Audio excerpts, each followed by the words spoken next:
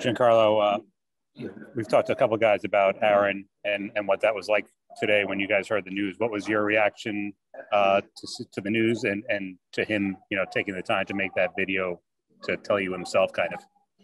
Uh, I, I, was very surprised, um, just um, for for the, the the outlook of how how he's been acting normal and how well he's been able to cope with what he's been going through. It just shows how strong of a person he is. Um, that we obviously already knew, but uh, you know, this takes it to the next level. And um, you know, we're all we're all we're all in his corner. We're all he knows we all we love him, and um, we we hope he's back soon. We go next to Sweeny Murti. Go ahead, Sweeny.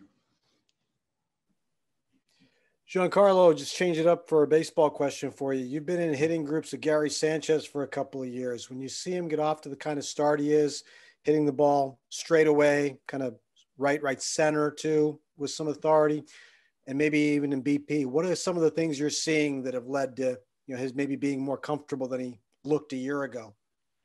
Uh, yeah, that's big. Um, you got to be able to use uh, the field from foul pole to foul pole, especially when you got the power that he does.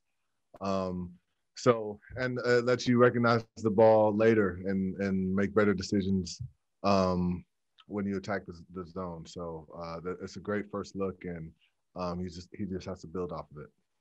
Thank you. Mm-hmm. We go next to Greg Joyce. Please unmute. Hey, Giancarlo, how did you feel out there, uh, getting out there for the first time tonight, and what did you see in your at bats? Uh, it's good to be out there. It's good to be out there. Uh, got some fans in the stands, and um, just to get it rolling for for me, my first spring training game. So uh, it, it, was good. I mean, uh, the at bats, um, the at bats were about how they how I imagined for uh, not seeing live for about four months. So um, it's okay. I got I got some time to to tune up what I need to, and we'll be all right. We go next to Erik Boland. Erik. John Carlo, what have your impressions been so far of, of Corey Kluber? Uh, same impressions of of playing against him. You know, he's just he's just uh, uh, he's a dog out there. I mean, he he's gonna he's gonna come pump the zone and and carve up these hitters like he's been, and um, and not be fazed. That, that, I say that's the main thing I've I've taken from watching him over the years. He's he's just unfazed um, by whatever happens uh, out there, very poised. You go back to Greg Joyce.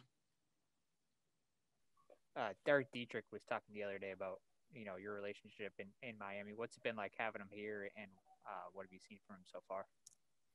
Uh, it's been great having him here. Um, yeah, brings brings back old memories um, from when we were first uh, first getting started down in Miami. So um, it's been good. Uh, I, I think uh, he's looked solid and uh, he's he's working hard as he usually does, and um, he just got got to keep it rolling.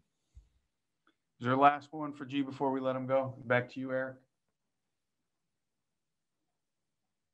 Just to follow up on, on Greg's question, Dietrich was talking about how comfortable he is at a, a, variety of positions in the field. What did you see from him defensively in Miami, wherever you know the franchise decided to put him?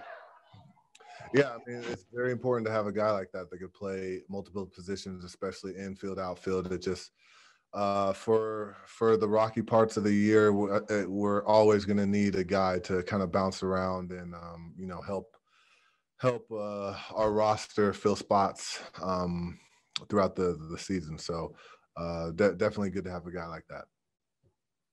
G, thank you and enjoy your night. Thank you. We're back with uh, Carlos Mendoza